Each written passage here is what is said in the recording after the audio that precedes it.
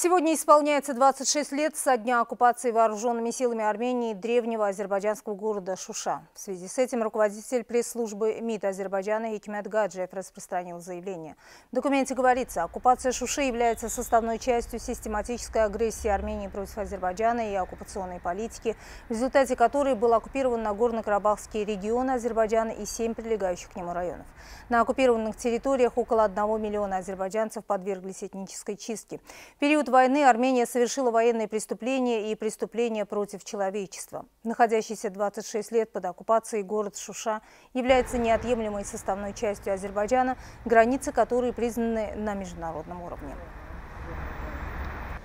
Между тем, сотни людей собрались сегодня на аллее героев, отдавших свои жизни за территориальную целостность Азербайджана, чтобы почтить память погибших при оккупации Шуши армянскими вооруженными формированиями.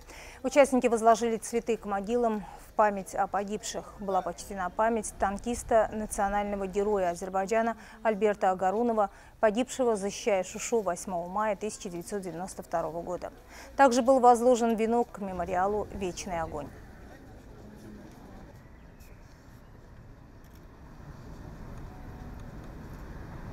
Bizim doğma Şuşamız 26 ildir işğal.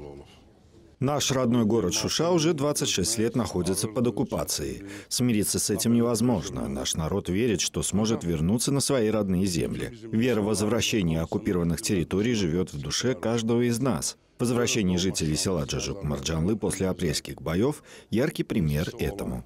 Когда Шуша будет освобождена от оккупации, мы еще раз станем свидетелями того, как население возвращается на свои родные земли. Ora necə axışacaqdır. 26 il bundan önce may ayının 8-inde 1992 ildə 26 лет назад, 8 мая 1992 года, армянские вооруженные формирования при поддержке 366-го мотострелкового полка захватили город Шушу, жемчужину и центр азербайджанской культуры. В результате погибло множество людей, город был разрушен. Шуша по сей день находится под оккупацией. Сегодня мы собрались здесь, чтобы почтить память погибших, мы желаем, чтобы наш город был освобожден от оккупации.